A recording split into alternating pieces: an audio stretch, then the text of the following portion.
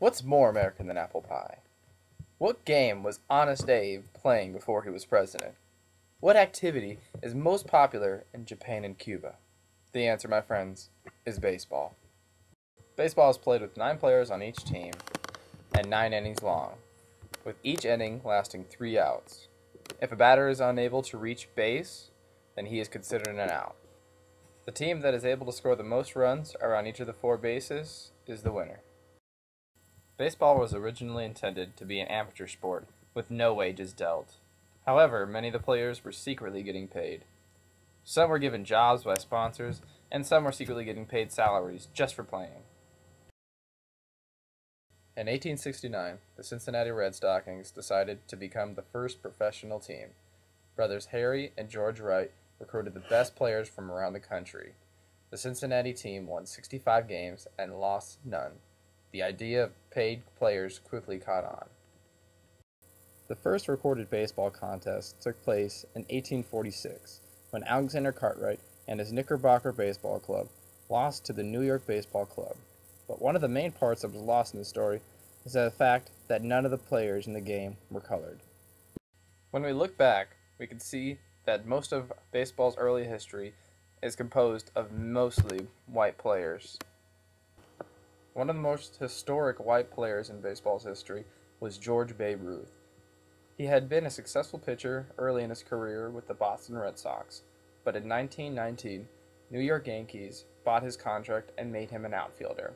He was one of the most tremendous hitters in the league and still holds records to this day. On October 16, 1867, the start of segregation began when the Pennsylvania State Convention of Baseball in Harrisburg denied a colored baseball club. Two months later, the National Association of Baseball Players decided to ban any club including one or more colored persons. From the 1920s to the 1940s, many black baseball clubs were established, and there were even several Negro or colored leagues in operation. Baseball was considered segregated until Jackie Robinson signed with the Brooklyn Dodgers organization in 1946. Still, integration was a very slow process.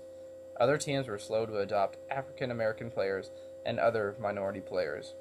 It was another 10 years after Jackie Robinson had joined the league before all the teams had integrated, and it wasn't until the early 60s that professional baseball could truly call itself integrated.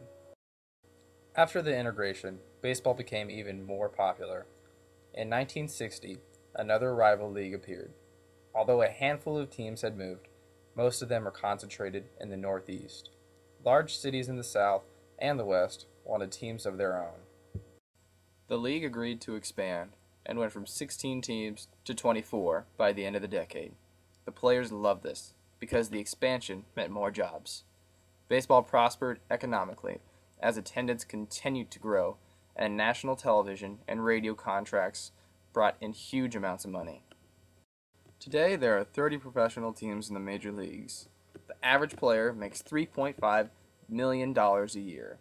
Throughout the years, we have seen plenty of influential players with mixed interracial backgrounds, such as Mark McGwire, Mickey Mantle, Ken Griffey Jr., Sammy Sosa, Derek Jeter, Alex Rodriguez, Nolan Ryan, just to name a few.